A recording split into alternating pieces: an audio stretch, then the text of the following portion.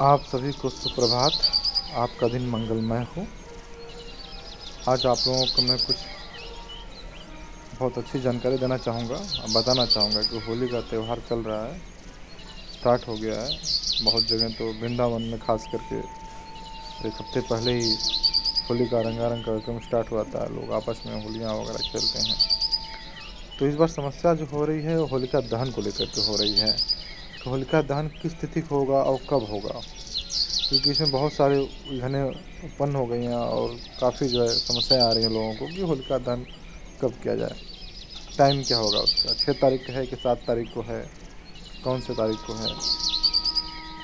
तो इन सभी को हम बताना चाहेंगे आपको कि इस बार अनेक दुविधाओं के बीच होलिका दहन सात मार्च को होगा और आठ मार्च को होली खेली जाएगी।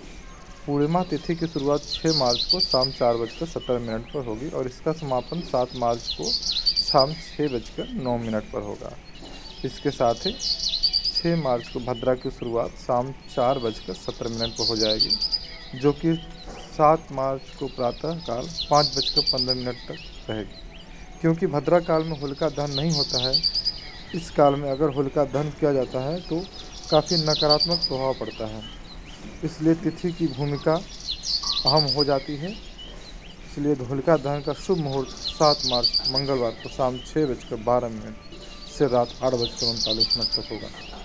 तो साथियों, ये जानकारी बहुत ही कीमती है, आप लोग शेयर करिए इसको। और जो लोग नहीं जानते उनको ज़रूर बताइए कि होलिका दहन इस साल 2023 में सात मार्च, मंगलवार को शाम छः बजकर बारह मिनट से रात आठ बजकर उनतालीस मिनट तक रहेगा।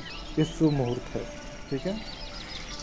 तो आप लोग इस बार होली दहन अच्छे से करिए और थोड़ा सा आप लोग पटाखों वगैरह का प्रयोग कम करें, जिससे पॉल्यूशन वगैरह फैलता है और खूब अगले दिन खूब होली का आनंद लीजिए, इसी के साथ।